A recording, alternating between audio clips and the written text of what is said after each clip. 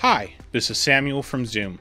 One of the biggest concerns when recording audio for your videos is syncing the audio and video in post production.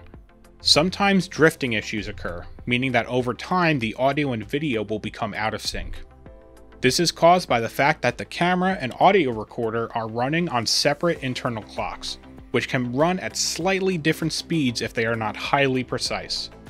This is made more difficult by the fact that some clocks are affected by the temperature and other environmental conditions where you record. We are talking about differences measured in parts per million, or ppm, but these small discrepancies can add up, especially in longer takes.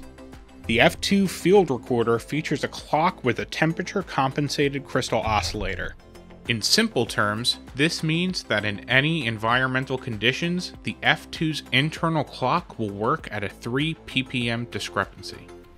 This is accurate enough that drift within 24 hours would be a couple of frames. For the average take while recording video, the drift would be imperceptible. Goodbye drifting issues. The F2 BT Bluetooth model offers even more sync options. To keep a camera and audio recorder absolutely perfectly in sync, you need to be clocked to the same master source using timecode.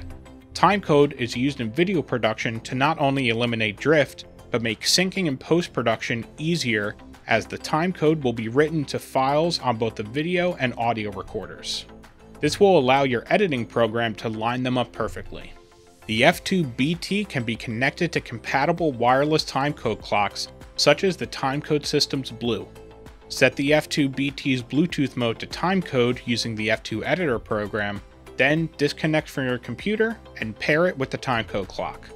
You'll know it's synced because the light on the F2 will blink with the timecode received. You will also need to be feeding timecode to your camera. Depending on your camera, this can be done through HDMI or a timecode input.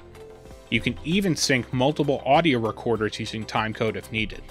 To learn more about the F2, check out our other videos on our YouTube channel, and visit our website, zoomcorp.com. Good luck and enjoy creating.